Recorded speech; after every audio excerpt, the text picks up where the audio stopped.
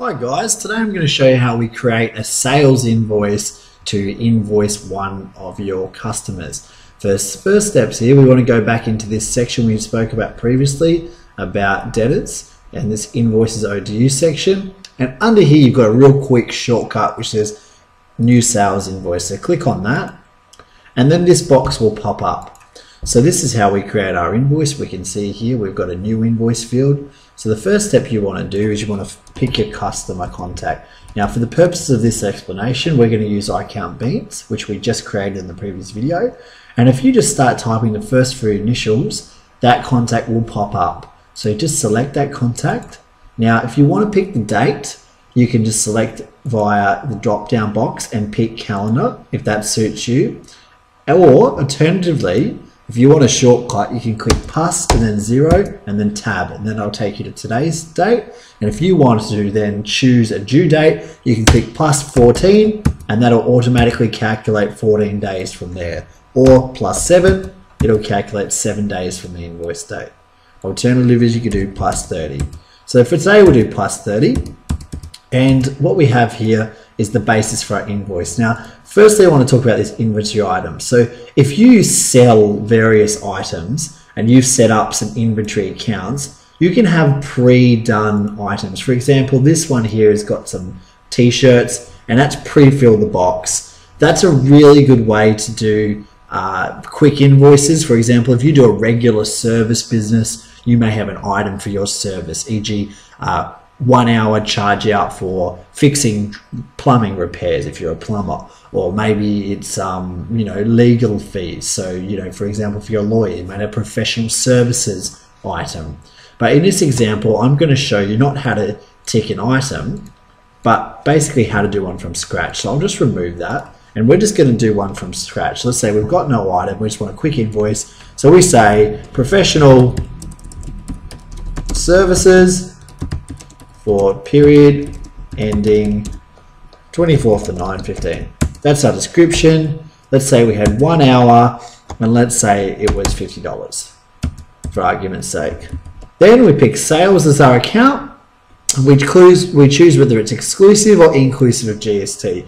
Exclusive obviously adds GST on the bottom, on top, and inclusive includes it. So if we're happy with that price, then we got two functions now. We can either save it as a draft, right? Or we can approve it. So if you're not done with this invoice and you want to review it later, save it as a draft. If you're completely happy with it, click approve.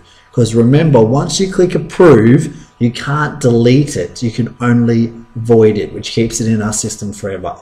So what we're going to do is we're happy with this invoice. We don't need to do any further changes. So we're just going to click approve. And what that will do now, that'll generate an invoice in our system that can now no longer be deleted. Okay, very good. So that's now been created. So now we've got a few options. So if we then want to email it, we can email it by clicking that email function and send it directly to our customer there. We can also have a pre-done email and we can include a PDF of the invoice as attachment, or we can also include files as an attachment. So what that means is that if you have various documents attached to the invoice, they will also come with that email, which is really good if you, for example, are receipt banking dockets from a job. So that's how we do it there. And you can also ask it to send you a copy of the invoice. So that's what those functions are. And then you literally just click send. Okay. The next option is you print a PDF, right? Now, when you print a PDF, you can mark it as sent. And that means that, look, we're sending this from our own Outlook software. And we want it to be marked as sent in Xero so that we know we actually have sent it. Very good feature. So if you click mark as sent, it will show as if it has been sent through Xero, even though you're actually going to send this from your own email software. So then click print. It will not print it. It will just generate a PDF and then that PDF will then load like we're looking at our screen now. Sometimes it takes a few seconds to load the PDF, so just be patient and that'll pop up a completed PDF that you can then save to your desktop and you can email that.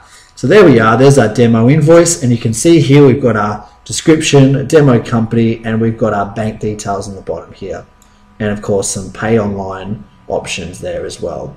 We won't go into that in detail today, but effectively that's the basis for creating an invoice. Then you can just save it to your desktop if you want, and you can email it from your own email software. Then if we're happy with this invoice now, it's been sent, we can then just click back on invoices and we can search for further invoices or we can create another one if we wanted to create more invoices.